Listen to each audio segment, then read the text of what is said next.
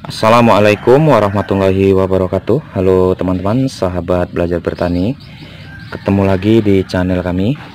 Video kali ini kita akan coba stek batang merica ya Ataupun lada. Nah dia supaya agar lebih cepat berbuah. Memang pohon merica ini ataupun lada nggak pala kita kasih obat perangsang Bisa cepat tumbuh ya. Cuman dia kalau dikasih ini dia lebih cepat tumbuh dan bisa lebih cepat berbuahnya teman-teman. Nah ini langsung aja kita ini seperti biasa ya pangkal bawah ini yang bekas kita potong tadi. Harus kita bersihkan seperti ini dulu biar nanti enggak layu. Dan usahakan teman-teman dia nanamnya yang seperti ini ya kalau mau yang cepat berbuah dan jangan yang ada akar-akarnya tumbuh. Nah dia yang seperti ini. Nanti ini kira-kira dia berusia tiga bulan udah bisa berbuah. Nah, nanti akan saya tunjukin yang udah berbuah yang kita setek sekitar tiga bulan yang lalu ya. Nah jadi ini kita beritahu aja apanya cara pembuatannya gimana. Nah, ini ini obat seteknya udah kita siapin ya yang udah kita kasih air seperti ini. Memang pohon merica ini paling gampang nggak pernah dikasih obat stek pun tumbuh cuman dia lebih lama berbuahnya. Nah, jadi kalau kita kasih obat stek dan kita cari batangnya yang seperti ini dia lebih cepat nanti berbuahnya. Oke teman-teman udah setelah kita kasih ini kita biarkan dulu sejenak biar meresap ke batangnya ke pori-porinya obat steknya ini. Kita siapkan dulu media tanamnya ya teman-teman Oke teman-teman kita lanjut ya. Ini udah dia udah kering. Jadi ini langsung aja kita tancapkan ke media tanamnya. Saya hanya menggunakan tanah biasa dari bawah pohon bambu ya karena ini lebih gampang dia tumbuhnya. Langsung aja kita tancapkan. Seperti ini.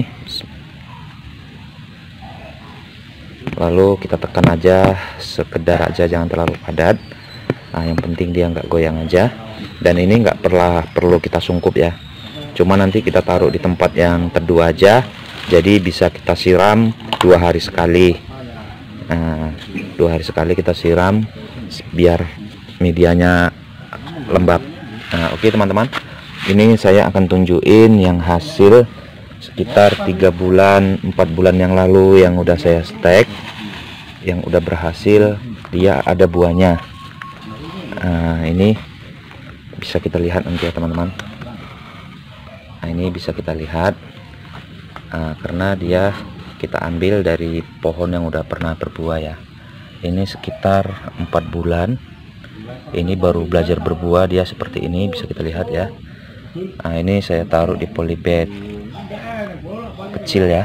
Nah ini nah ini ada saya ada beberapa batang hari itu enam enam batang yang saya tanam. Cuman ini yang saya tunjukin hanya sekedar dua aja teman-teman. Ini perkembangannya sangat bagus ya. Ini ber, ber, berumur sekitar tiga kalau nggak empat bulan saya pun lupa. Nah, jadi usahakan teman-teman jangan pendek-pendek ya. Kita cari yang udah pernah berbuah jadi kita ambil begitu hidup. Nah dia seperti ini langsung berbuah nah, oke teman-teman semoga bermanfaat video kali ini.